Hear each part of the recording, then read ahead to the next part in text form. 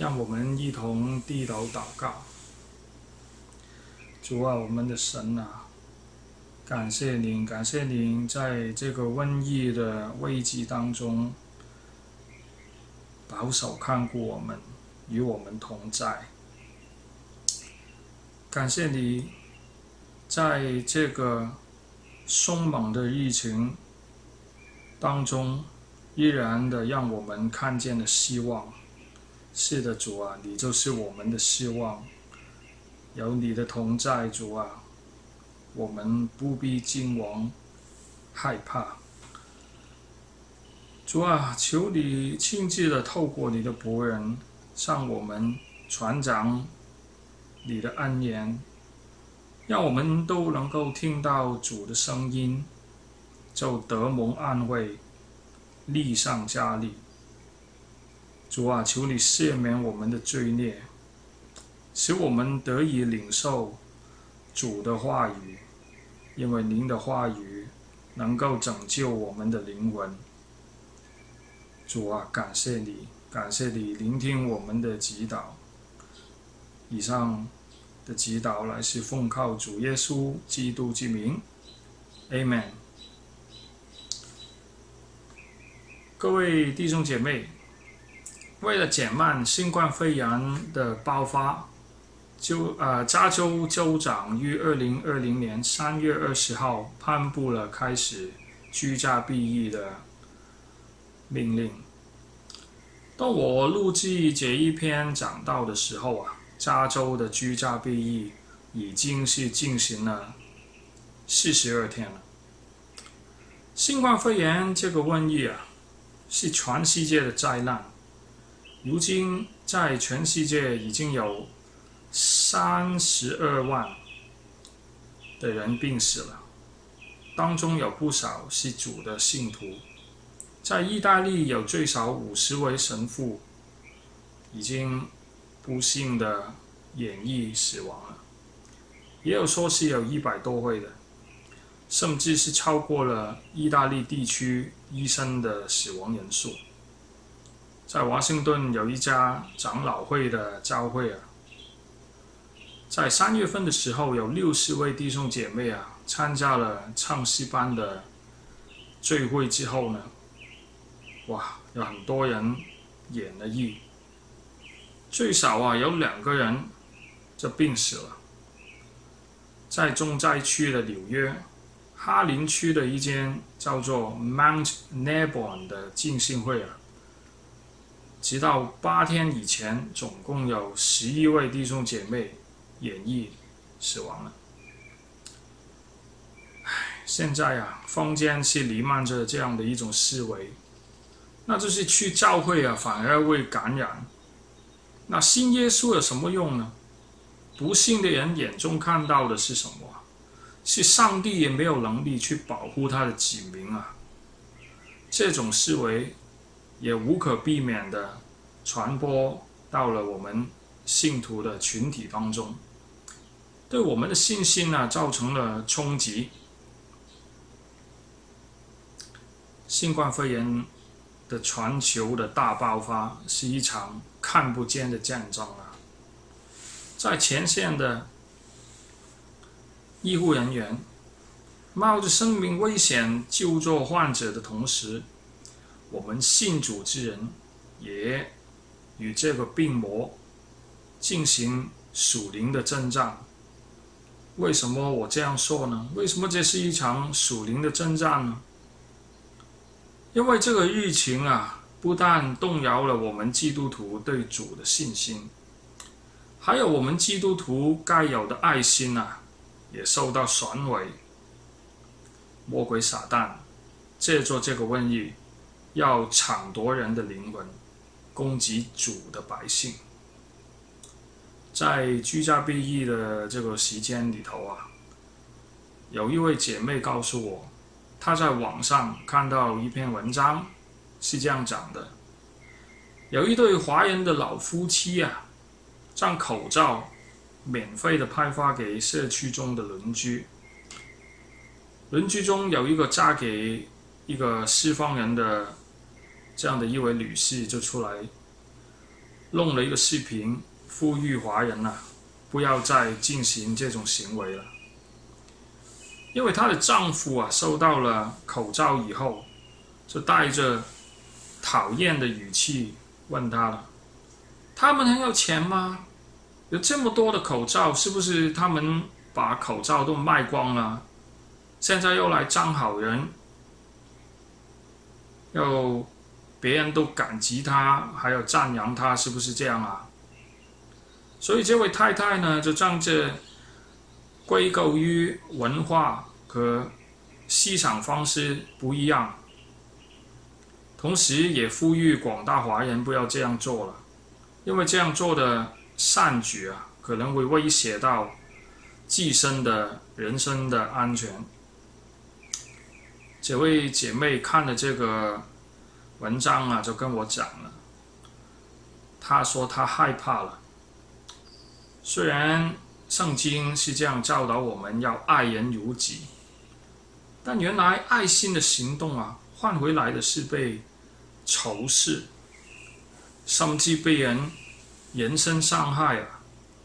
他认同文章里面所说的话，把这种黑暗归咎于。中西方的文化的差异，认为善恶对错没有绝对的标准。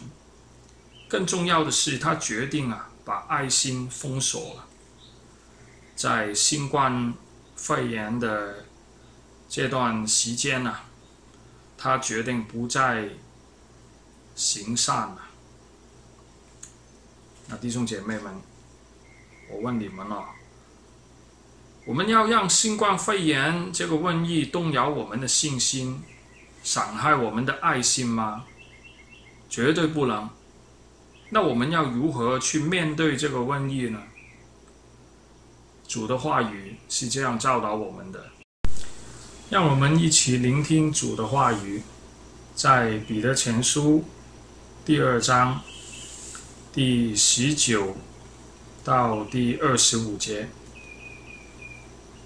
主的话语是这样说的：“倘若人为照良心对得住神，就忍受冤屈的苦楚，这是可喜爱的。你们若因犯罪受砸打，能忍耐，有什么可夸的呢？但你们若因行善受苦，能忍耐。”这在神看是可喜爱的。你们蒙召原是为此，因基督也为你们受过苦，给你们留下了榜样，叫你们跟随他的脚中行。他并没有犯罪，口里也没有诡诈。他被骂不完口，受害不说微傻的话。只将自己交托那按公义审判人的主。他被挂在木头上，亲身担当了我们的罪，使我们既然在罪上死，就得以在义上活。因他受的鞭伤，你们便得了医治。你们从前好像迷路的羊，如今却归到你们灵魂的牧人监督了。新冠肺炎的大爆发其实没有什么特别，大家无需把它无限的放大，看得它比天高，比地更宽。人的一生啊，总有诸般苦难，新冠肺炎也只是其中一个。主的话语在彼得前书刚才读的那一段里面就教导了我们。该当怎么样去面对人生中的苦难？首先，你要知道你是为什么受苦难。你是因为主而受苦呢，还是因为自己做的事情承担苦果呢？就刚才那个派口罩的事件来说的话，如果那对老夫妻啊，是因为心里忠于主耶稣的教训，如同经文所说，为照良心对得住神，爱人如己，付诸实行，而去派发口罩给他们的邻居啊。这样做是容神依人，结果反被他的邻居仇恨、讨厌，甚至被人身伤害。那么他们就是为上帝的缘故而受了苦难。但如果他们的行为只是为了炫富，结果他们被邻居仇恨，甚至被人身伤害了。那么他们所受的苦，只能算是为自己的错误付出了代价。经文上这样说：倘若人为照良心对得住神，就忍受冤屈的苦楚，这是可喜爱的。你们若因犯罪受责打，能忍耐。有什么可夸的呢？但你们若是因为行善受苦，能忍耐，这在神看是可喜爱的。同样是忍受苦难，因为苦难的原因不同，忍受的价值也不同。因为自己犯错而受的苦难，忍受就没有价值了，因为那是自己活该的。但如果是为了主而受的苦难呢？那忍受就有价值了。照经文里面说的这种忍受，在神看是可喜爱的。英王鉴定版 King James 啊，就表达的很清楚了。他说：“acceptable with God”，也就是说，你为主。而忍受苦难，你的这一份忍受啊，是主所喜悦的，也是主所悦纳、所认同的。所以弟兄姐妹啊，我们人类是受造之物，作为受造之物，有什么比得到造物主悦纳、认同更有价值呢？好好想一想这个问题。第二，善恶对错是有绝对的标准的，而主就是这个标准。跟我说，这个华人夫妻派口罩给邻居的这位姐妹啊，她看了这个文章以后啊，得出了一个结论，就是说。善恶对错是没有绝对的标准，一切都是看不同的文化而定的。也就是说，文化是定义善恶对错的。我呢，我无法认同他的这一个结论，因为圣经清清楚楚、明明白白的教导我们，上帝就是善恶对错的绝对标准。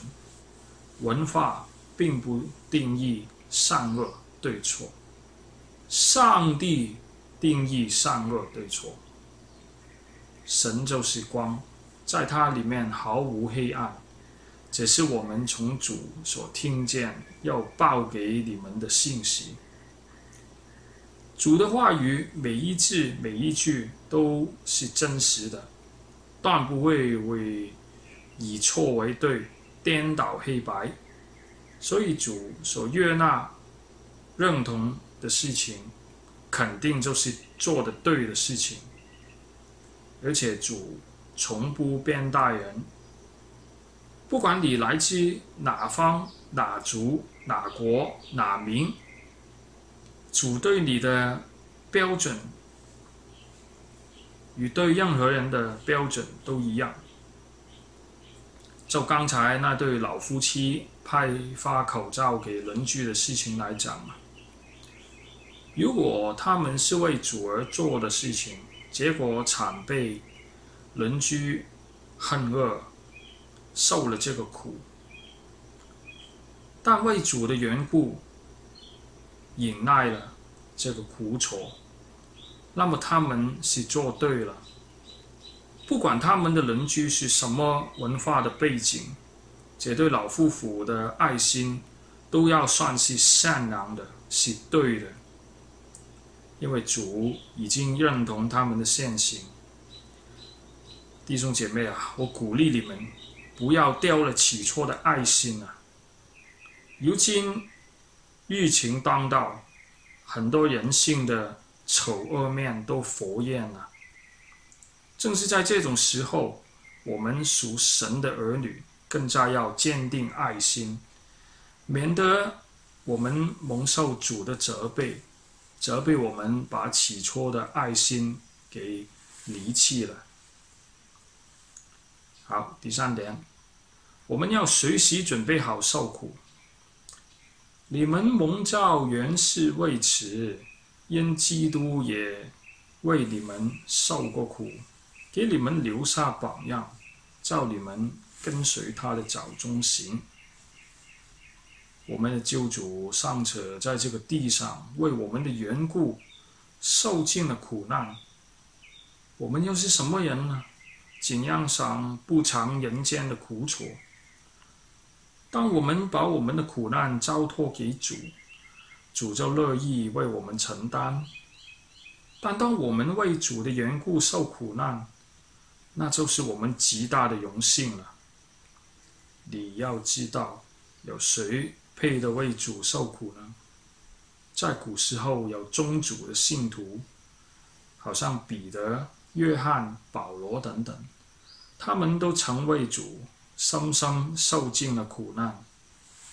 今日如果你也为主的缘故忍受苦难，他日得见主言。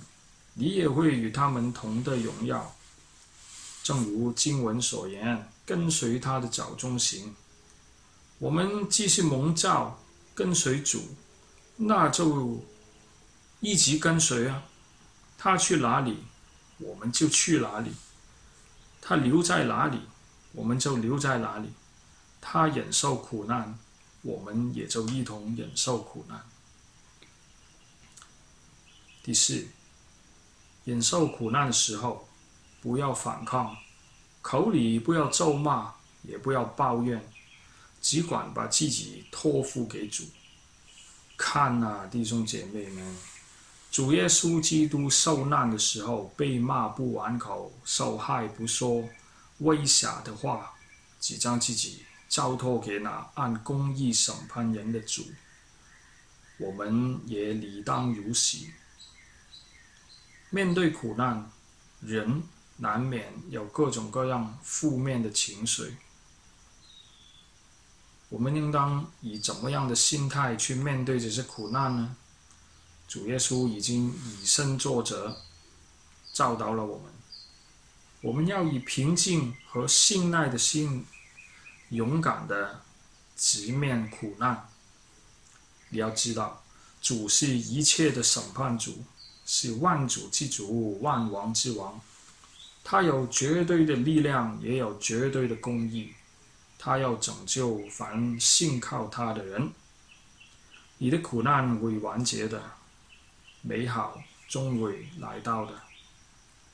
因为导致你受苦难的，无论是什么，都没有能力对抗主。带给你苦难的一切。无论是失业、贫穷、病害等等，都是无能为力对抗主的。当主要施行拯救的时候，你必然得救。所以在苦难当中，我们必须要坚定信心，仰望主，相信主。第五，弟兄姐妹啊，你们要知道真相。不要以为遇到了苦难是因为自己命运不好，或者是运气不好。你要记住，你不是命运的受害者，你是神的儿女。你不在命运底下，而是在主的手上。命运在你身上没有权柄，因为你的罪孽已经赦免了。经上说，他被挂在木头上。称心担当了我们的罪，使我们自然在罪上死，就得以在义上活。当主耶稣背负你的罪孽，被钉死在十字架上的时候，你呀，对，就是相信主耶稣的你，你的罪业就完全赦免了。我们本是该当受罚的，但主却替我们承受了罪债，他的冰伤使我们得了医治。所以面对苦难。你不要以为是命运不好，但你要明白，主耶稣已经胜过了你的苦难，他不然带领你跨过你现在面对的困境，带领你前往美好的、可安息的草地上。最后，在苦难里头啊，不要再迷茫了。其实我们向来都是迷惘的，在苦难里头就更加的迷茫了。魔鬼撒旦在我们受苦难的时候，往往就会乘虚而入，迷惑我们，误导我们，使我们归上各种各样的偶像。为什么呢？因为我们害怕呀。因为我们想要解决这些的苦难呢，使自己不用再受苦啊，所以就会尝试各种各样不同的法门，是这个是那个，那样就会给魔鬼撒旦乘虚而入呢。其实世界上有很多这样的例子啊，其中一个就是。非常出名的一个人，一个很大的一个例子，那就是苹果电脑的那个乔布斯啊。当乔布斯被诊断出患了癌症之后啊，他并没有接受医学的治疗，相反，他成为在一些替代疗法里，当中还包括佛教禅宗的打坐冥想。他想以这些奇怪的行径来医治他的癌症，结果当然是不能医治好了。后来他还是死了。在他死亡以前，他自己也说，非常的后悔用了这些方法。所以从他的例子，我们可以看看出一个这样的结论出来。当一个人他受苦难的时候，他是会迷失的，比平常更加的容易迷失。乔布斯就是这样的一个例子，他就是一个世上的灵魂呐，a lost soul。当然，我们不需要再迷失了，因为主在我们世上的时候，他已经来寻访我们。而且我们也从他那里得了拯救。自从我们得了拯救以后，世界就不一样了。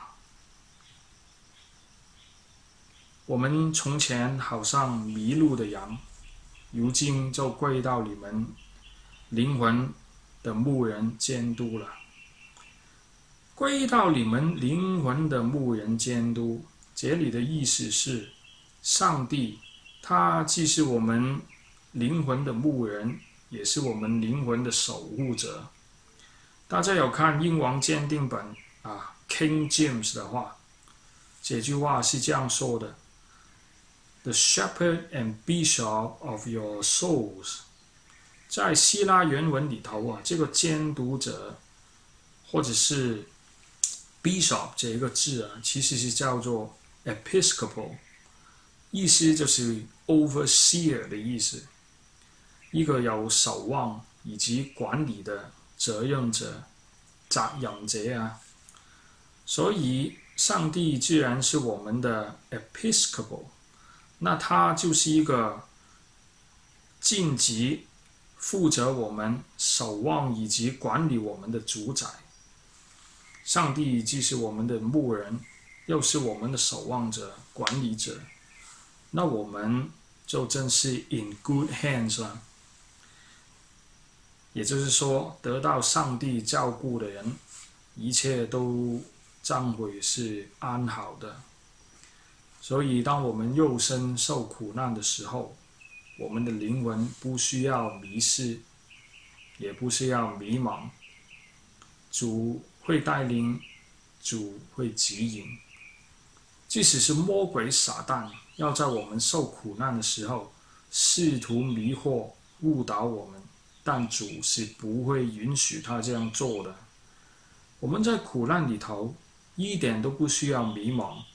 不需要是这个是那个，只要安安心心的信靠主，依赖我们这一位善良的牧人，知道他会给予我们方向，永远他都不会错漏，那就已经足够了，心里头就能够满足，灵魂也得以平安。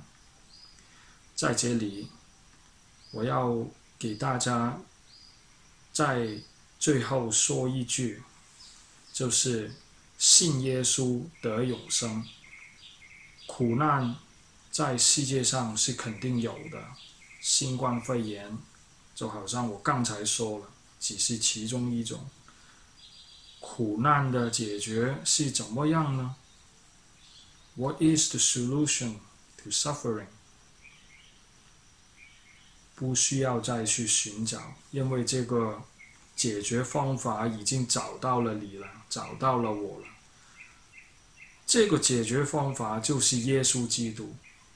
所以今天，我亲爱的朋友，我亲爱的弟兄姐妹，如果你听到主的声音，你不要硬着减号，你要悔改，你要回转，信耶稣。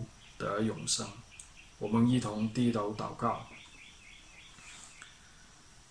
主啊，我们的神啊，人生当中多有苦难，我们感谢赞美你，因为你是我们善良的牧人。求你加添我们的信心，让我们有勇气、有忍耐，在苦难里头，为了主承受。苦难，不害怕，不抱怨，只是一心一意的仰望你，信赖你，保守看顾我们的灵魂，救助我们。以上的祈祷乃是奉靠主耶稣基督之名，Amen。